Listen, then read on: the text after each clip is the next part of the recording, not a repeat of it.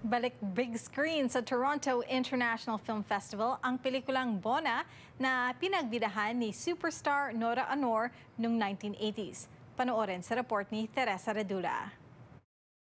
Apat na dekada man ang lumipas, tila hindi pa rin kumukupas ang suporta ng mga Pilipino para sa pelikulang Bona ni Director Lino Broca starring Nora Honor. Dahil dito po sa TIFF Lightbox linggo ng gabi, sold out ang tickets para sa North American premiere ng 4K restoration ng pelikula.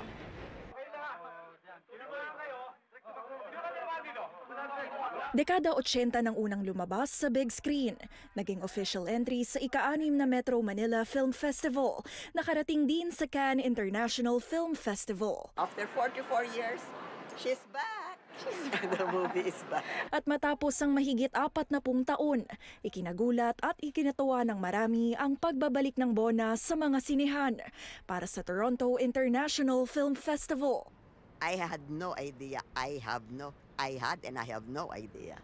And imagine my sentiments. Oh my God, I was jumping with joy. It was triumphant. It was so festive and most of us who were there felt like we were in Manila. Ang 86-minute film, kinilala ng TIFF bilang isa sa mga esensyal na pelikulang Pilipino na pinagbidahan ni Nora Honor at Philip Salvador. Kwento ito ni Bona na isang movie fan. Nalabis ang paghanga kay Gardo na isang aktor na ipinakita ang panganib ng pagkahumaling sa isang tao. Bakit sa tingin niyo po hanggang ngayon malaki pa rin po yung suporta ng Filipino community para sa pelikulang ito? Oh yes, because number one, it's really a good film. And after the screening, I was approached by um, younger people. Because of this, they became aware of Nora Honor and Lino Broca. Bahagi ang pelikulang ito sa TIFF Classics program na layong ibalik ang mga audience sa mga iconic films na gawa ng visionary filmmakers gaya ni Lino Broca. Bagamat ito'y isang classic film, napapanahon pa rin daw ang tema nito para sa bagong henerasyon ng mga manonood.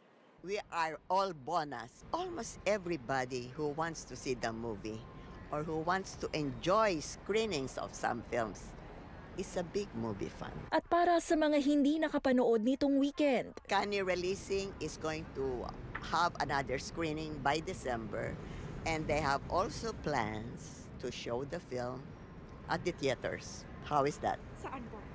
They will make an announcement soon. Please tell everybody to watch it.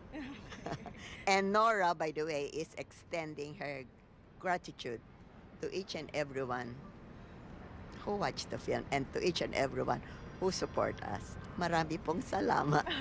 Ito lamang ang natatanging screening ng pelikula ni Lino Broca sa Toronto International Film Festival. At para naman po sa mga Filipino movie fans, sunod pong ipapalabas ang pelikulang Sunshine ni Director Antoinette Hadaune sa Scotiabank Theatre simula Biyernes. Teresa Redula, Omni News, Toronto.